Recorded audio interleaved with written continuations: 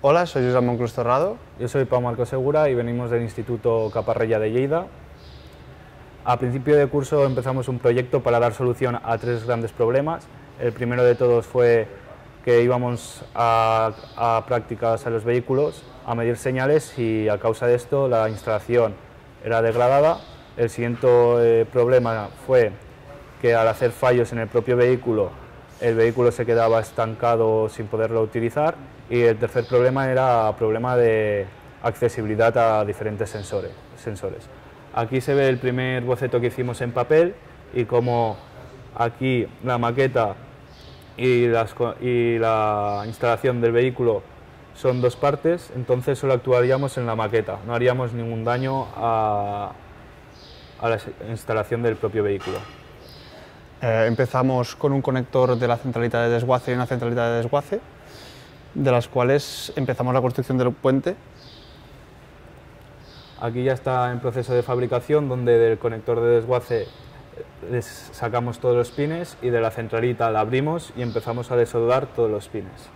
Luego más tarde soldamos todos los pines al sitio que tocaría y los, aislamos con termorretráctil y aquí se puede ver cómo hay el puente entre el conector de la centralita motor y la centralita motor. Luego más tarde hicimos unas derivaciones a una caja que sería la maqueta, donde hay 10 señales que están derivadas en serie y luego una masa, un positivo de 5 voltios, uno de 12 y una línea CAN en paralelo. Y aquí ya lo tendríamos eh, en el vehículo ya mejor presentado, con el puente pasado por unos tubos. Todo ah. perfectamente aislado y ahora os enseñaremos todos los fallos que hemos provocado y el esquema que hemos utilizado en este vehículo. Aquí podemos ver una de las derivaciones en paralelo que tenemos, que es una línea CAM-tracción. Podemos ver ahora mismo, hay el osciloscopio puesto, se puede extraer una señal fácilmente. Y ahora vamos a ver la utilidad haciendo con un puente una derivación a masa.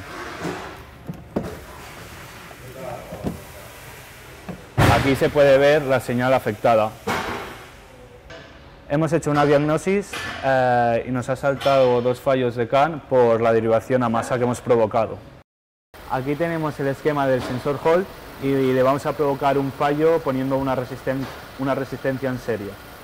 Aquí podemos ver la señal con osciloscopio perfectamente una onda cuadrada. Acelerad, por favor. Se puede ver la onda cuadrada y al ponerle una resistencia podemos ver cómo el motor lo ha notado y además la punta de la señal es redonda. Además podemos diagnosticarlo y nos saldría la alteración. Sensor posición al borde levas 1 de la señal alterada. Eh, aquí tenemos derivada la señal de activación de la válvula mariposa, que es una señal PWM, como podemos apreciar en el esquema y ahora provocaremos el fallo eh, poniéndole 12 voltios directos que lo que hará es abrir mariposa todo el rato.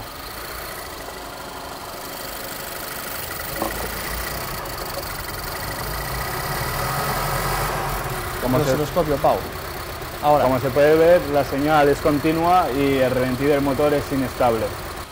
Aquí se aprecia que al hacer la diagnosis han saltado varios fallos en la unidad de control. Aquí tenemos el esquema del sensor de cuentas revoluciones y lo que haremos es provocar un fallo a 5 voltios. Aquí podemos ver, como podemos ver tenemos la señal extraída con el osciloscopio, que es una señal sinusoidal, y le daremos un positivo directo de 5 voltios. Como podemos observar, el vehículo se ha parado porque ha perdido la sincronización. Si lo intentáramos arrancar, arrancaría porque tiene dos vías. Este, como podemos ver arrancado, tiene dos vías pero si usamos la diagnosis, podríamos ver que el fallo está marcado aquí, sensor de posición del cigüeñal. Aquí podemos ver otro de las cualidades de, nuestra maqueta. En este caso provocaremos un corte a una masa comuna de tres sensores. Al provocar el fallo, el motor se ve afectado, relentín estable y vamos a hacer una diagnosis. Después de hacer la diagnosis, eh, nos salen aquí varios fallos de combustible y de la mariposa y esto es debido a que tiene la masa compartida Y aquí lo ideal sería en el vehículo mirar el problema desde la centralita, teniendo el esquema, y ver que son, al ser sensores con masa compartida, buscar desde el pin de masa hacia los actuadores si tiene algún corte. Como hemos podido ver anteriormente, la finalidad de esta maqueta es poder extraer señales, poder provocar fallos de diferentes formas, como pueden ser derivaciones a masa, positivo, provocar resistencias, además de acceder a, sensores de difícil acceso y, por delante de todo, que los alumnos puedan practicar la diagnosis cómodamente y fácilmente.